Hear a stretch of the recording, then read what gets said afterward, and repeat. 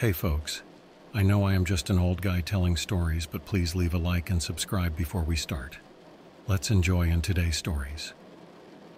Before I dive into today's stories, I want to say disclaimer.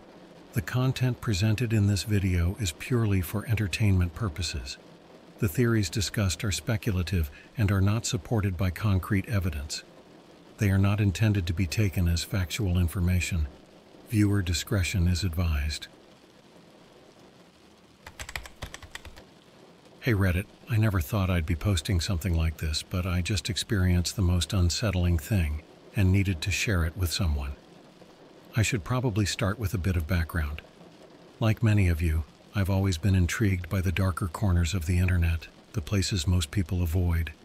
It started as harmless curiosity, just poking around forums and reading up on urban legends.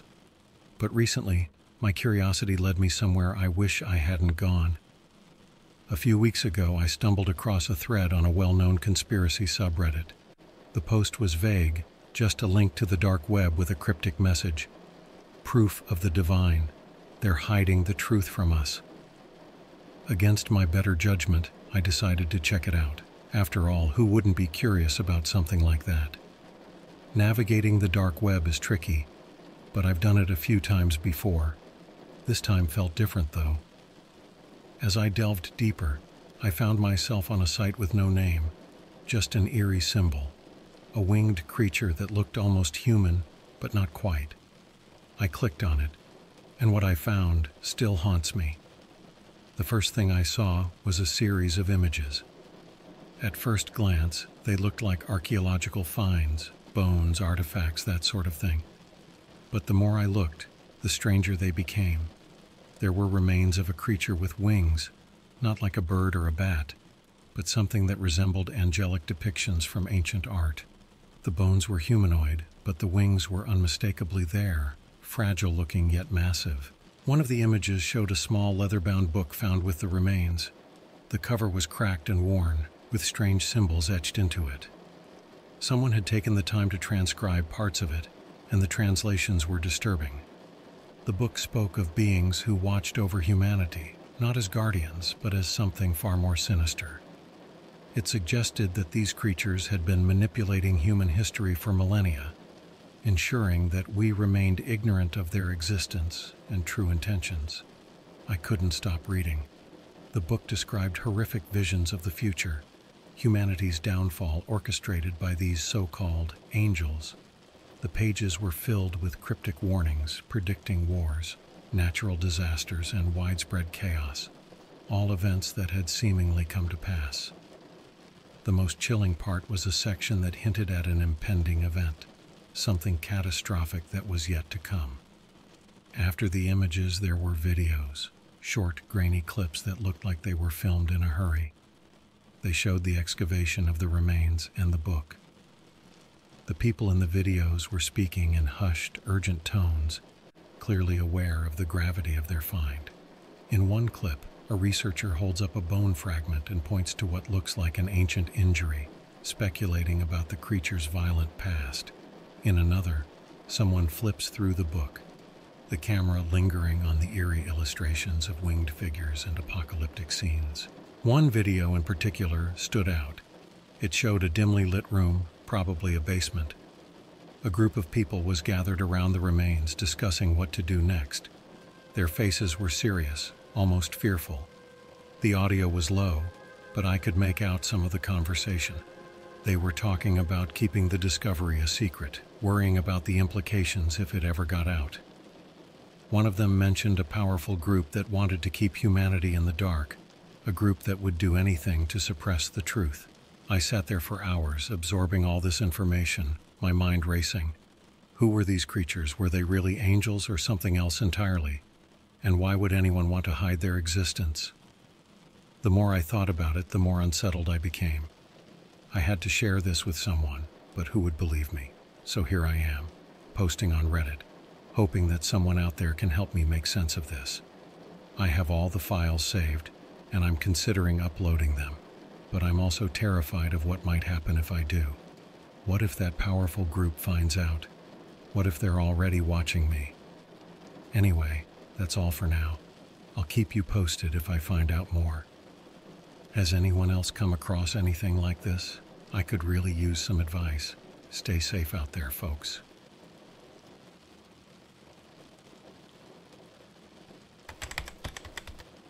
Hey everyone, I'm back with more updates on the unsettling discovery I stumbled upon.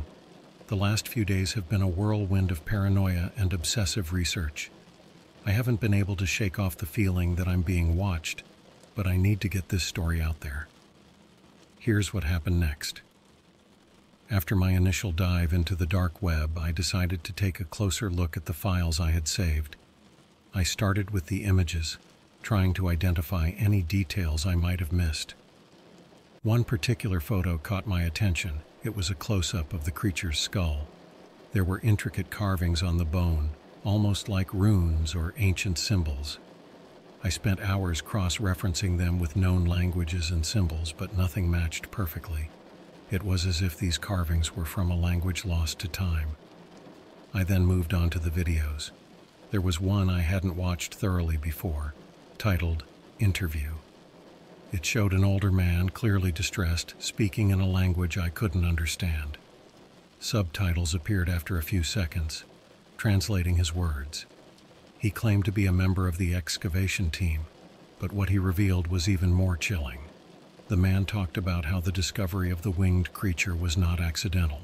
He said they had been following a trail of ancient texts and rumors, hints scattered across the globe. These texts, according to him, were deliberately hidden by powerful entities throughout history. He mentioned secret societies, government cover ups, and even hinted at religious institutions being involved in concealing the truth. According to him, the creatures were not just myths or religious symbols. They were real and had influenced humanity in ways we couldn't comprehend. He spoke of a particular incident where a colleague disappeared under mysterious circumstances. One day, they were discussing the implications of their find and the next day that person was gone, without a trace. It was then that they realized they were being monitored. The man's eyes darted around nervously as he spoke, clearly fearful for his life. In another part of the video, the same man showed more pages from the leather-bound book. These pages contained detailed drawings of the creatures in various poses, some appearing benevolent, while others depicted horrifying scenes of destruction and control. The book seemed to be a mix of a diary and a prophetic text, with the author claiming to have been in contact with these beings. One drawing in particular gave me chills. It showed a massive winged figure standing over a city in ruins. The caption read, The Harbinger of Change. According to the book, this creature would appear at a time of great upheaval to usher in a new era, one that would reshape humanity in ways we couldn't fathom. Determined to get to the bottom of this, I reached out to a friend who is a historian specializing in ancient civilizations. I knew he might be able to provide some insight into the symbols and the context of the book. When I showed him the images, he was initially skeptical, but soon became intrigued. He agreed to help me analyze the content further. Over the next few days, we pored over the material together, my friend identified some symbols as being similar to those used in ancient Mesopotamian texts, but with significant deviations. He suggested that they might represent a hybrid language or a coded message. We also noticed that the book mentioned several ancient sites around the world, places known for unexplained phenomena and mysterious ruins. As we dug deeper, we found references to a group called the Keepers of the Veil. According to the book, they were tasked with maintaining the balance between humanity and these winged beings. The keepers were said to have knowledge passed down through generations, knowledge that included ways to summon, control, or even banish these creatures. One particularly eerie passage spoke of a ritual involving a key of light, an artifact said to be able to open a portal to the realm of these beings. The book warned that using the key could have catastrophic consequences if misused, but it also hinted that the key had been lost or hidden centuries ago. As fascinating as all this was, it was also terrifying. If any of this were true, it meant that there was a hidden history of humanity, one that involved beings far beyond our understanding. And if these beings were indeed manipulating events, what did that mean for our future? I decided to post this update to see if anyone else had any pieces of the puzzle. Maybe someone out there has encountered similar stories or can provide more information about the Keepers of the Veil or the Key of Light. I'm still debating whether to upload the videos and documents I have. I'm scared of who might come after me if I do, but the truth needs to be known. Stay safe, everyone, and keep your eyes open. There's more to our world than meets the eye, and some truths are hidden in the shadows.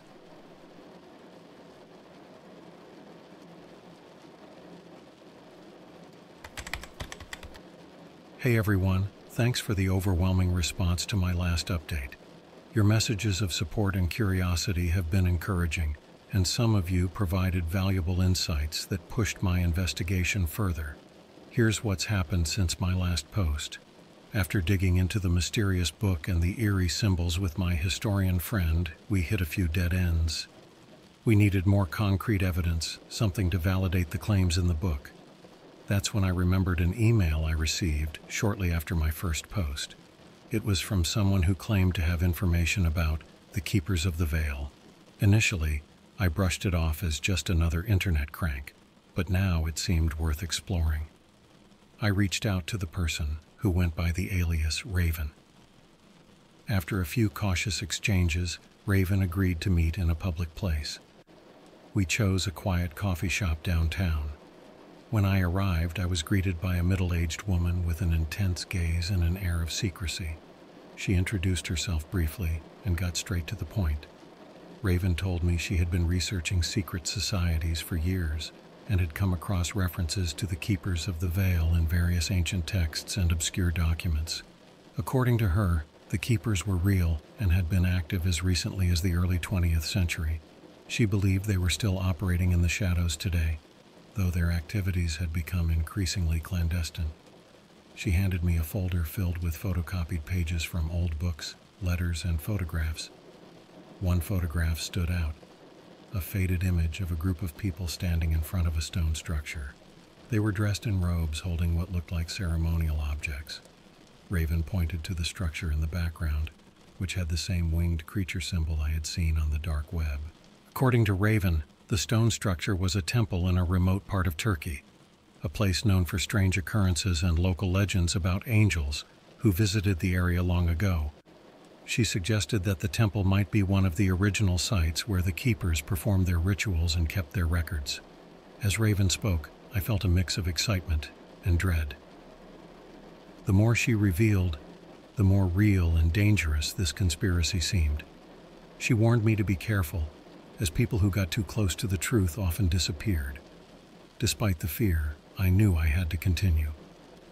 I took the folder home and spent the next few days analyzing its contents. One letter, written in an old fashioned script, was particularly intriguing. It was from a man named Elias Thornton, dated 1903, addressed to a colleague about the coming storm. Thornton wrote about discovering the key of light and the immense power it held. He warned that if it fell into the wrong hands, it could spell disaster for humanity. Thornton's letter included a crude map with coordinates leading to a location in the Turkish mountains. This had to be where the temple was. I discussed it with my historian friend, and we decided that a trip to Turkey might be the only way to get definitive answers. It was a daunting prospect, but the potential discovery was too significant to ignore. Before making any travel plans, I needed to secure my findings and ensure I wasn't walking into a trap.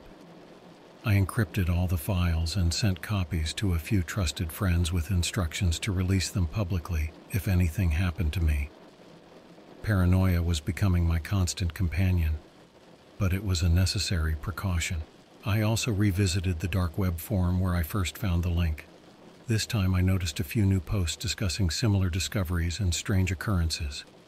One post caught my eye a user claimed to have seen a winged creature in a remote village in South America.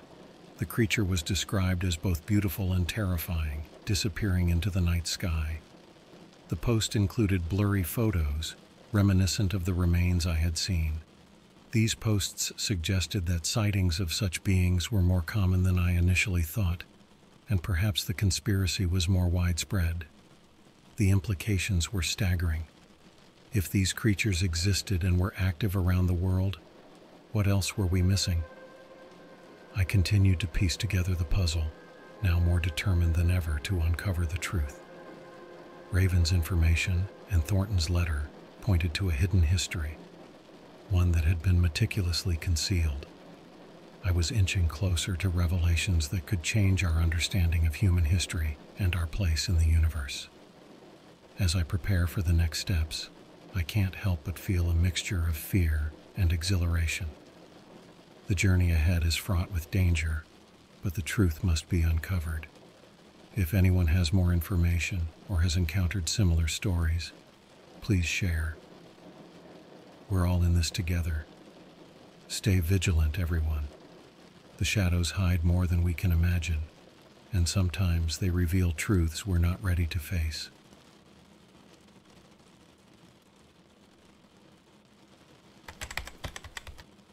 Hey everyone, I'm back with more updates. Things have escalated quickly, and the line between curiosity and obsession is getting thinner by the day. Here's the latest on my journey to uncover the truth behind the winged creature and the keepers of the veil. After a lot of preparation, my historian friend John and I booked our flights to Turkey. We kept our plans under wraps, telling only a few trusted people. Given the mysterious nature of our investigation, the last thing we wanted was to attract unwanted attention. The flight was uneventful, but as we descended into Istanbul, I couldn't shake the feeling that we were being watched. We rented a car and drove to the remote location indicated on Thornton's map. The journey was long and arduous, taking us through rugged terrain and isolated villages. Locals were friendly but cautious, their eyes filled with unspoken stories. When we mentioned the ancient temple, they exchanged worried glances and whispered among themselves. It was clear that the legend of the winged creatures still haunted this place. After a few days of searching, we finally arrived at the coordinates. Nestled between two imposing mountains was the temple, or what remained of it. The structure was mostly ruins, overgrown with vegetation, but the winged creature symbol was unmistakable, carved into the stone entrance. We set up camp nearby, planning to explore the temple at first light. That night, as we sat by the fire, John and I pored over the documents Raven had given me. One passage from Thornton's letter stood out. The temple holds more than relics. It is a gateway, a place where the veil between worlds is thin.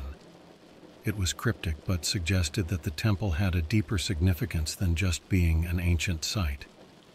The next morning, we began our exploration. The air inside the temple was thick with age and mystery. As we ventured deeper, we found more symbols and carvings, many of which matched those in the book. We documented everything, taking photographs and notes, trying to piece together the story these walls were telling. In one of the inner chambers, we found a large stone altar. It was covered in dust, but beneath it, we uncovered an old chest. My heart raced as we pried it open, revealing a collection of scrolls, more intricately carved bones, and what looked like ritualistic tools. Among the scrolls, there was one that caught our attention immediately. It was a detailed account of a ritual involving the Key of Light. The scroll described how the key was used to summon the winged beings, allowing them to interact with our world. It spoke of sacrifices, not of life, but of knowledge and power, given willingly by the keepers to maintain balance.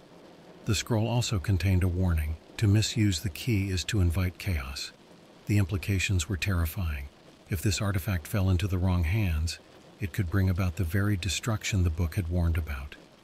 We spent hours cataloging the contents of the chest, but our discovery was interrupted by a noise from outside. John and I exchanged worried glances and quickly hid the chest. We cautiously made our way to the temple entrance, where we saw a figure in the distance moving towards us. My heart pounded. Had someone followed us? As the figure approached, we saw it was an elderly man, dressed in traditional clothing. He introduced himself as Mehmet, a local historian who had been watching us since our arrival. Mehmet spoke of the temple's dark history and the legends of the winged creatures. He had been studying the myths for years and knew of the keepers. He warned us that our presence here was dangerous, as there were still those who wished to keep these secrets buried. Mehmet revealed that he had been following clues of his own and believed the key of light was hidden somewhere in the temple. He offered to help us, but only if we promised to handle the discovery with the utmost care. We agreed, and with his guidance, we continued our search. In a hidden chamber beneath the altar, we found a small, ornate box. Inside was a crystal like object, radiating a faint, ethereal glow. This, Mehmet confirmed, was the key of light. The air around us felt charged with energy, and I could sense the immense power the key held. As we carefully packed the key and our findings, Mehmet urged us to leave immediately. He believed others would come for the key, and we had to ensure it didn't fall into the wrong hands. We made our way back to the car, constantly looking over our shoulders, the weight of our discovery pressing heavily upon us. Now back in Istanbul, we're preparing to return home. We've secured the key and the documents, planning our next steps carefully. The journey has only just begun, and there's so much more to uncover. We need to understand the full extent of the key's power and the true intentions of the keepers of the veil. I'll keep you all updated as we move forward. This discovery could change everything, and I'm determined to see it through. Stay safe, everyone, and remember some truths are hidden for a reason.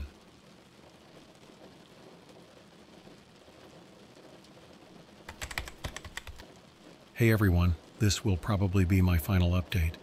The past few weeks have been a whirlwind of discovery, fear, and an overwhelming sense of responsibility. Here's how it all unfolded. After securing the key of light and returning to Istanbul, John, Mehmet, and I took every precaution to ensure our findings remained safe. We booked our flights back home, keeping a low profile and splitting up the documents and artifacts between us. The journey back was tense, with every glance over my shoulder feeling like an eternity. Once home, we convened in my small apartment, turning it into a makeshift research lab. We knew that we had to fully understand the power and implications of the key before deciding on our next steps. Mehmet, with his extensive knowledge of the legends, played a crucial role in deciphering the remaining texts and guiding us through the process. One evening, as we were poring over the scrolls, John made a breakthrough. He discovered a hidden compartment within one of the older scroll cases. Inside was a smaller scroll, more fragile than the others, detailing an ancient prophecy. It spoke of a time when the veil between worlds would weaken and the key would be the only thing capable of either restoring balance or plunging the world into chaos. The prophecy mentioned a specific alignment of celestial bodies, an event that was set to occur in just a few months. This alignment, according to the text, would open a gateway allowing the beings from the other realm to cross into ours more freely. The key was described as both a tool and a weapon, capable of controlling this gateway. Realizing the urgency, we decided to seek out more experts. We reached out to a few trusted contacts in the academic and archaeological communities, people who we knew could keep a secret and would take our findings seriously.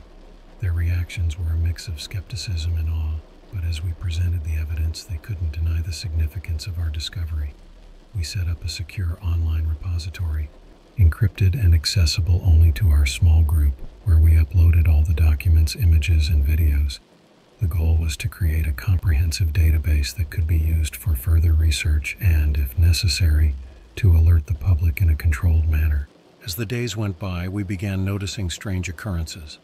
Our communications were intercepted, files were mysteriously deleted, and unfamiliar faces started appearing near our homes.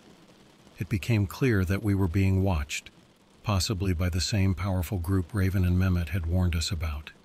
We took extra precautions, using encrypted messaging apps and meeting in different locations to avoid detection. One night, while going through the encrypted files, I received a message from an anonymous source. They claimed to be a former member of the Keepers of the Veil and warned us that our discovery had set off alarm bells among the secretive group. The message included a dire warning. You have the power to change the course of humanity, but you also hold the key to its destruction. Choose wisely. We debated our next steps endlessly, the responsibility weighed heavily on us. Should we reveal everything to the world, risking widespread panic and possibly triggering the very chaos the prophecy warned about? Or should we keep it hidden, safeguarding the knowledge until we fully understood how to use it?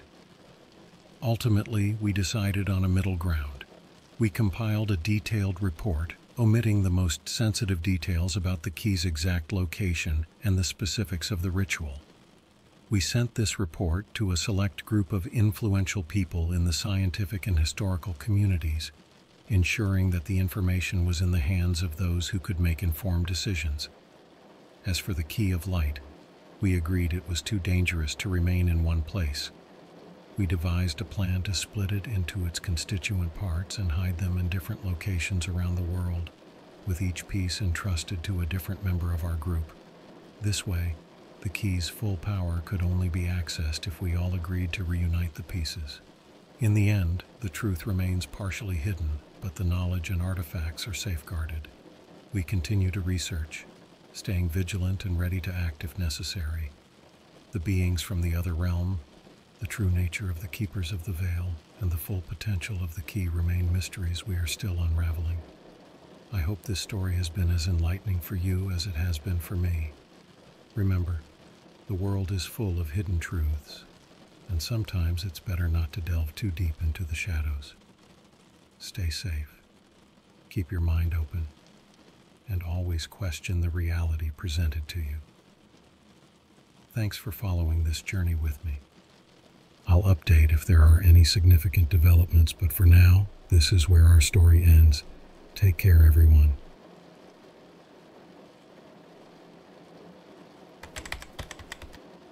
I've been a gamer for as long as I can remember. It's more than just a hobby, it's a way to unwind after a long day, a way to connect with people I would never have met otherwise. One of those people was a guy named Rick. We met on an MMO about five years ago, and over time he became more than just a gaming buddy, he became a friend. Rick was a bit of a mystery, but that's not uncommon in the gaming world. You can spend hours talking to someone without knowing their real name, where they live, or what they do. But Rick and I eventually exchanged real names and even a bit about our personal lives. He was from a small town in the Midwest, had a dog named Buster, and worked some kind of IT job that he hated. One night, we were in the middle of an intense raid and everything was going as usual. We were chatting over Discord, cracking jokes, and coordinating our team. Suddenly, Rick mentioned something that made me pause. Hey, have you ever heard about the dark web? He asked, almost casually, like he was asking about the weather. I laughed it off at first, thinking he was joking. Yeah, I've heard of it. Why? There's some crazy stuff there, man. I stumbled upon it the other night and it's wild. I could hear the seriousness in his voice. It wasn't like Rick to bring up stuff like this out of the blue. What were you doing there? I asked, my curiosity piqued. Just browsing, you know, looking for some old games that aren't available anymore. But I found some really messed up forums, people talking about stuff that, well, it's better not to know. His tone had a finality to it that sent a shiver down my spine. The conversation moved on, but that mention of the dark web lingered in my mind. We finished the raid and everything seemed normal. Rick logged off with a casual, see you tomorrow, man. I logged off too, thinking nothing of it. But the next day, Rick didn't show up online. I thought maybe he was busy with work or something. Days turned into weeks and still no sign of him. I sent him messages on Discord, texted him, even tried calling his number, which went straight to voicemail every time. That's when I started to get worried. Rick was a creature of habit. He had a routine, and breaking it was unlike him. I knew his full name, so I decided to do a little bit of my own detective work. I searched for him on social media, but there was nothing. It was as if he had vanished. Months passed, and I couldn't shake the feeling that something was terribly wrong. I finally decided to hire a private detective. It wasn't cheap, but I couldn't just let this go. I needed answers. The detective, a grizzled guy named Sam, took the case. He promised to find Rick or at least figure out what happened to him. Weeks later, he came back with nothing no traces, no records, not even a hint of Rick's existence. It was as if he had been wiped from the face of the earth. I was left with more questions than answers. What had Rick found on the dark web? Why did he disappear? And how could someone just vanish without a trace? I couldn't let it go. Every time I logged into the game, I expected to see his username pop up, to hear his voice again. But it never did. And that's when the nightmares started.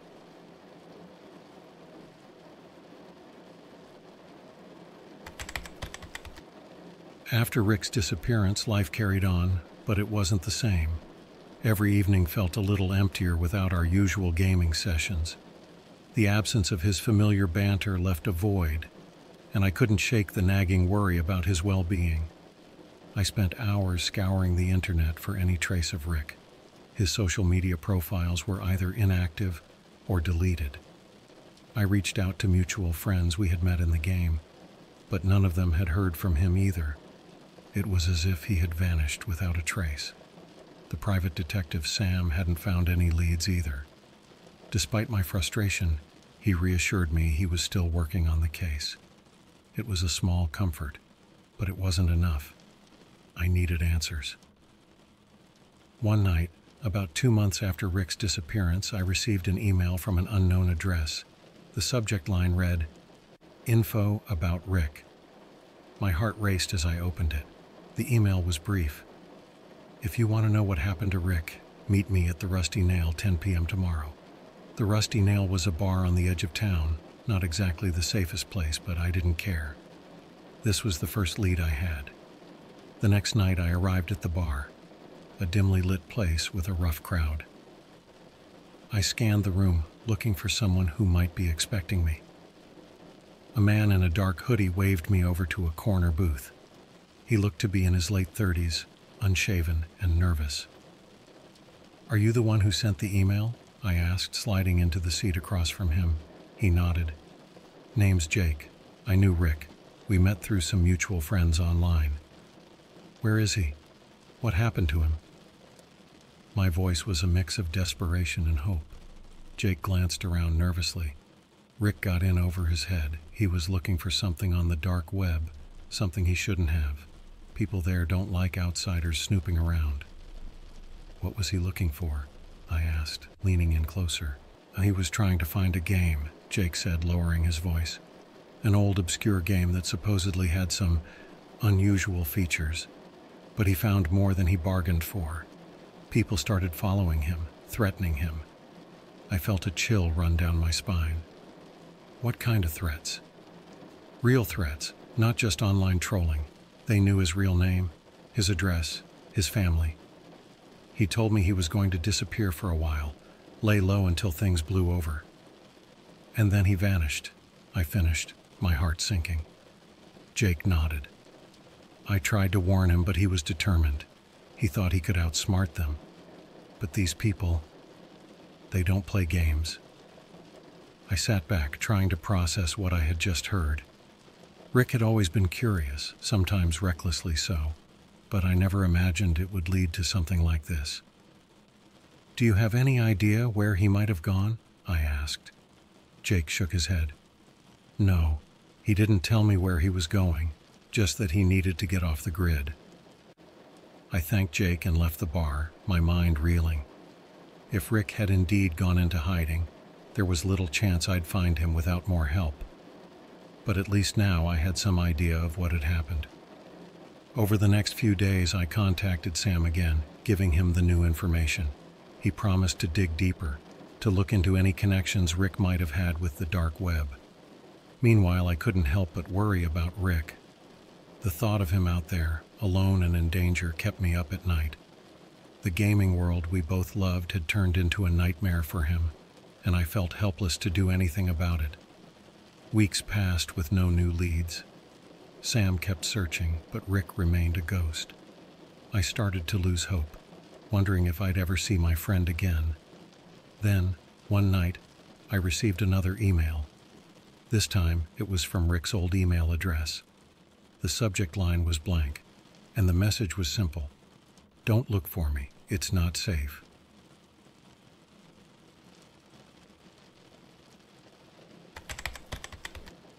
Receiving that email from Rick's address sent my mind into overdrive.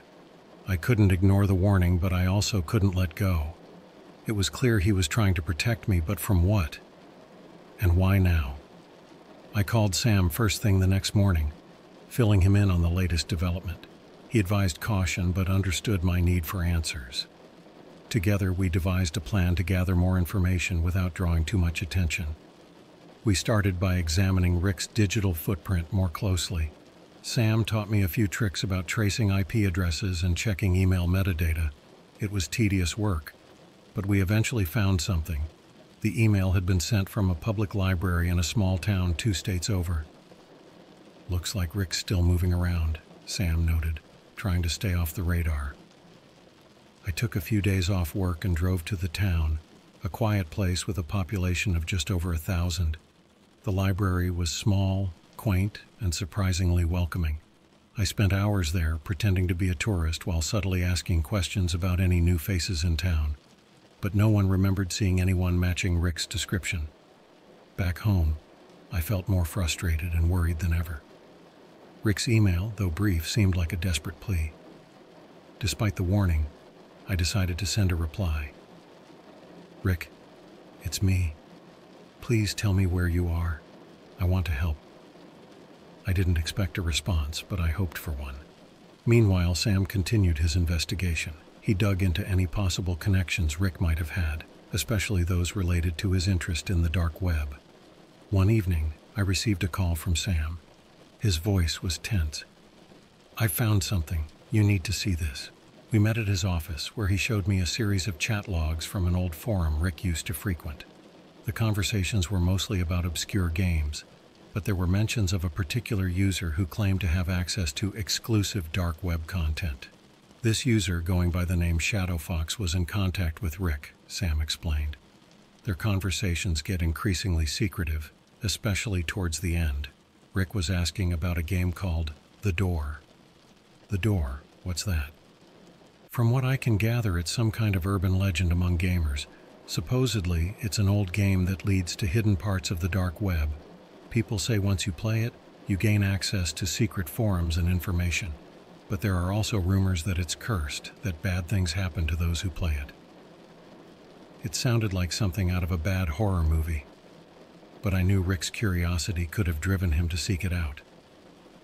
Sam and I spent hours going through the logs, looking for clues.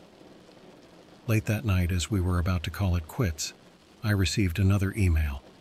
This time it was from an unknown address. Meet me where we first met. It was cryptic, but I knew exactly what it meant. Rick and I had first teamed up in game in a virtual tavern. It was where our friendship began, and apparently, where he wanted it to continue. I logged into the game and made my way to the tavern. It was empty, just as I expected given the late hour. But there, at our usual table, was a single note I'm in trouble. Don't contact me again. Trust no one. My heart sank. Rick was deeper into something dangerous than I had realized. The fact that he reached out even in such a limited way meant he was still out there, still fighting to stay safe.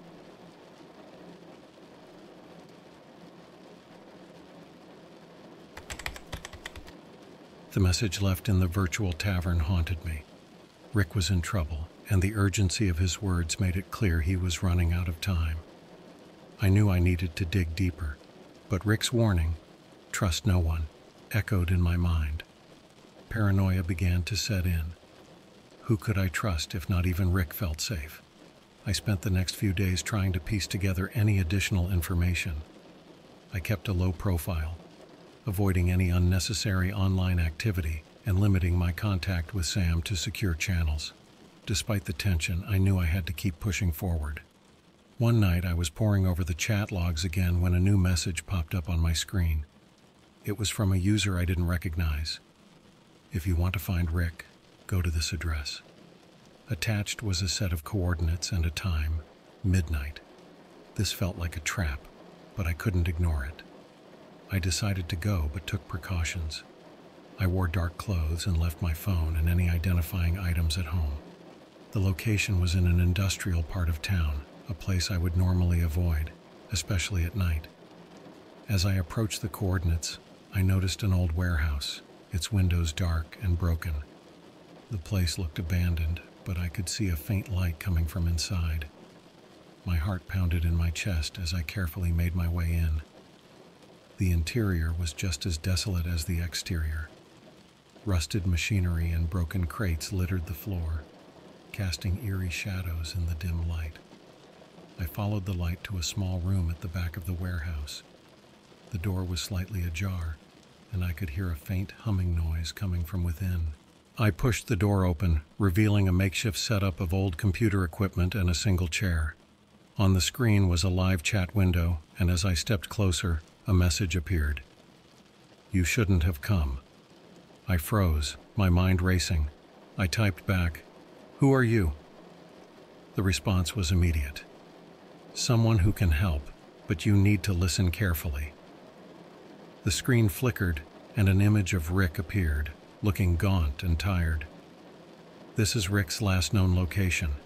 He discovered something dangerous, something people don't want exposed. They've been tracking him ever since. I felt a chill run down my spine. What did he find? Evidence of a hidden network operating through the dark web, using old games as a cover. They're involved in illegal activities, probably. Rick stumbled onto it while looking for the door game. It was all starting to make sense now. Rick's curiosity had led him straight into the path of dangerous people. Where is he now? I typed. I don't know. He's gone off the grid completely, but he left behind clues, encrypted files that might help locate him. You need to find them before they do. My hands were shaking as I typed my next question. Where are the files? Hidden in the game, in the place where you first met. Look for the symbol of a key. The screen went black, and the warehouse lights flickered and died, plunging me into darkness. Panic set in, and I fumbled for my flashlight. I heard footsteps behind me, and before I could react, a hand clamped over my mouth. I struggled, but the grip was too strong. Don't make a sound, a voice whispered in my ear. We're getting out of here. I was dragged out of the warehouse and into the night. The person let go of me once we were a safe distance away. I turned to see a young woman, her face stern and determined. I'm Lisa, she said. I was Rick's contact. He told me to watch out for you. I was stunned. Why didn't you reach out sooner? I was waiting for the right moment. They're watching everything, and one wrong move could get us both killed. We made our way to her car, and once inside, she handed me a USB drive. This has everything Rick found. It's encrypted, but with the right tools, you can unlock it. I took the drive, my mind spinning. What now? Now we stay off the grid. They're going to come after us, but you have to find those files in the game. It's the only way to locate Rick and bring down this network. As we drove away from the warehouse, I couldn't help but feel a mix of fear and determination. Rick was out there somewhere, and it was up to me to find him.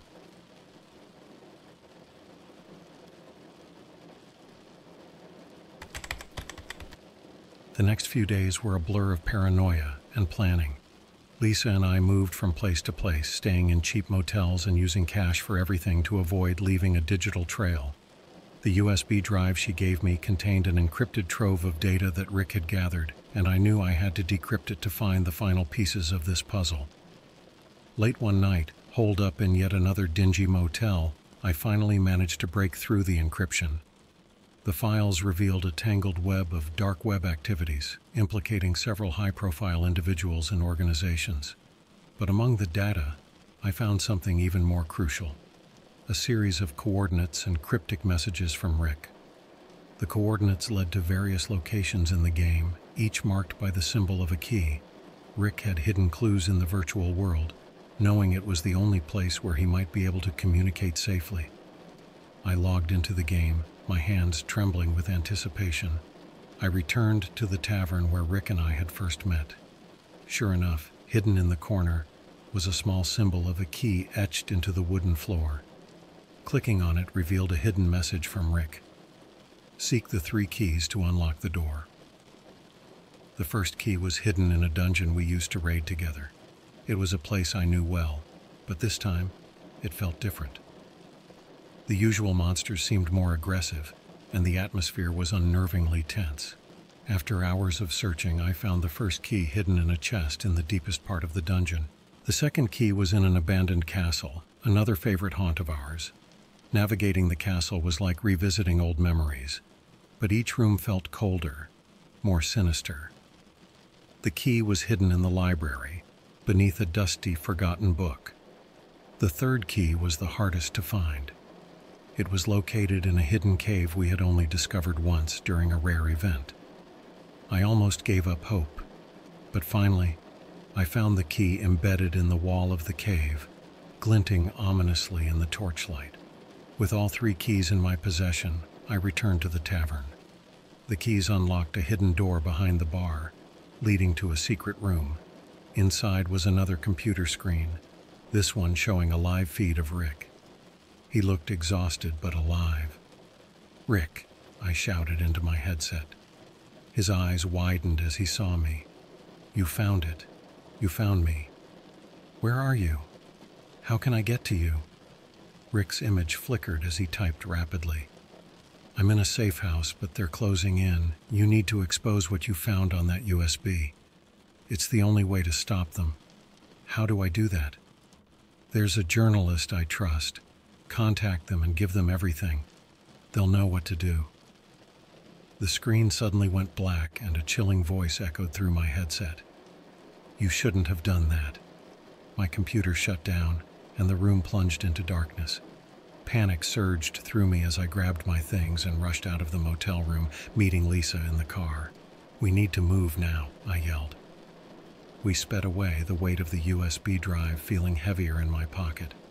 I contacted the journalist Rick mentioned, explaining everything as best as I could. They agreed to meet us at a secure location. When we arrived, the journalist, an older woman with a steely gaze, took the drive from me. This is big. It's going to shake things up, but it's the only way to keep you and Rick safe. Over the next few days, the information was released to the public. The network Rick had uncovered was exposed, leading to numerous arrests and investigations. It was a victory, but a bittersweet one. Rick was still out there, in hiding. Weeks later, I received a final message from Rick. It was brief but reassuring. I'm safe. Thank you for everything. Stay vigilant. The nightmare was over, but the memories lingered. I returned to gaming, but it was never quite the same. Every time I logged in, I hoped to see Rick's username pop up to hear his voice again. But I knew he was out there, living in the shadows, always one step ahead of those who would silence him. I never stopped looking, never stopped hoping, because that's what friends do. They never give up on each other, no matter how dark the path may become.